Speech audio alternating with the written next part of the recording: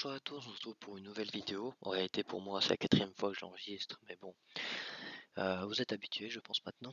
On se retrouve simplement pour le donjon Punisher, qui était le dernier donjon dont je n'avais pas fait les succès de niveau 101 150. Euh, pas un donjon difficile, hein, un donjon même plutôt facile. La seule complication que j'ai eue c'est que j'ai décidé de faire euh, double succès en même temps, c'est-à-dire statut et blitzkrieg. Donc c'était pas non plus très évident, sans compter la difficulté du boss, enfin pas dur en soi vraiment, mais il a une particularité que je vais expliquer. Il invoque trois créatures au début de, du combat, qui sont invulnérables, donc on peut pas les tuer, de toute façon ça n'a aucun intérêt de les tuer.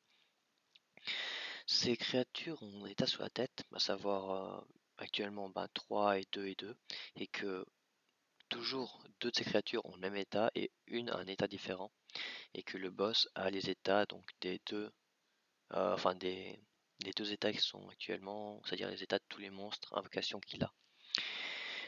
Euh, à quoi sert cet état? C'est-à-dire que quand il a un seul état sur la tête, 1, 2 ou 3, hein, c'est-à-dire euh, que tous les monstres invocations ont le même état, il ne renvoie pas les dommages, sinon il renvoie les dommages.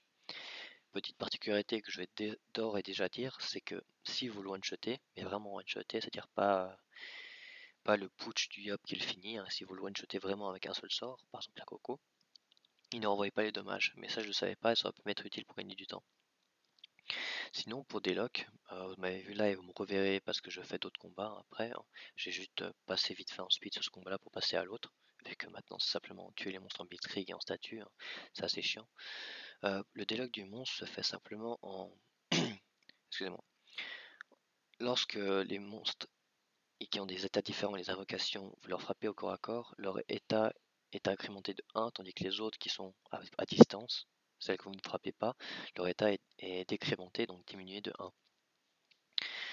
Euh, tout ce qu'il y a à faire en fait c'est de frapper la comment dire frapper l'invocation qui a un état différent donc il faut, taper sur ceux qui sont différents ça paraît très discriminatoire mais bon on s'en fout hein. Et sinon, après, ça passe facilement. Vous voyez là que je suis passé en duotage. Hein. J'étais obligé de le faire et je préfère le faire avec le panda plutôt que le yop parce que je me disais que ça allait être plus facile pour, euh, pour pas le déloc, mais pour euh, éviter le renvoi de dommages. Hein, donc mettre l'état spécial. Et j'aurais peut-être dû jouer avec la stab parce que, comme vous pouvez le voir, euh, bon, vous ne le verrez pas tout de suite, mais le verrez après, c'est que lorsqu'on frappe en fait ces invocations corps à corps, ben, on est repoussé de trois cases. Ce qui fait que c'est un peu plus compliqué des locks. Là, vous voyez, je vais aller, hop, reculer trois cases, j'aurais avancé. Heureusement que je suis un crack, une.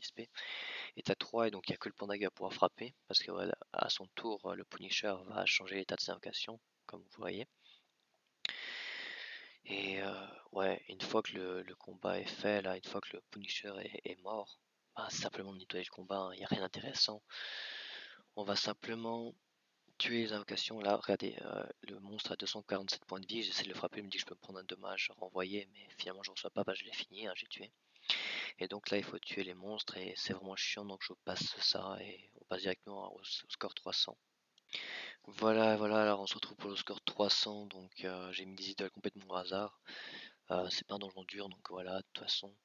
Donc j'ai simplement poutré les monstres, hein, plus de succès, pas de blitzkrieg, pas de statue, donc on les tue le plus vite possible. Hein, parce que j'ai mis des idoles qui augmentent de 30 puissance à chaque tour de jeu, ce qui est pas très intéressant. Enfin, ce qui est très dangereux plutôt en donjon dimension. Donc voilà, je vais simplement tuer le Pucciner et après on arrêtera la vidéo.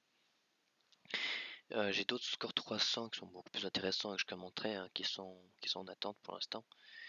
Et euh, je vais les mettre donc sur la chaîne dès que je pourrai.